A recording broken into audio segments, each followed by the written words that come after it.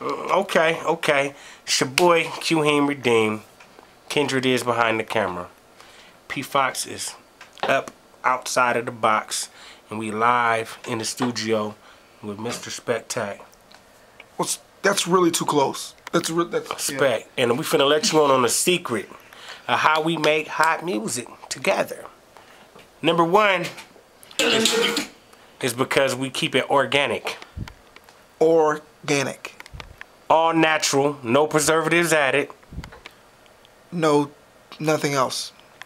just Jesus, Just Jesus. That's all as far as I'm. no socks. No, no shoes. You mean only socks? Pegged pants.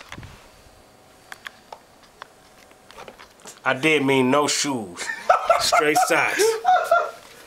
Organic.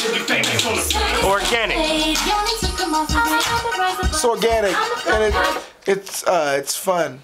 It's very fun being in the studio with these jokers. So they told you a story, you know, when they said, Jordan, is, is it the shoes? No, it's no shoes.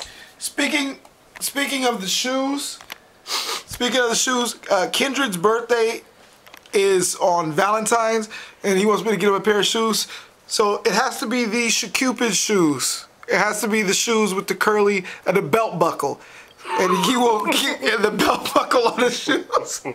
If you think I'm gonna uh, see you on Valentine's Day, uh, I'm gonna be with wifey, man. Good luck. I don't even believe in luck, but you know, Yeah. BreatheLifeRadio.com. good love, not luck, good love.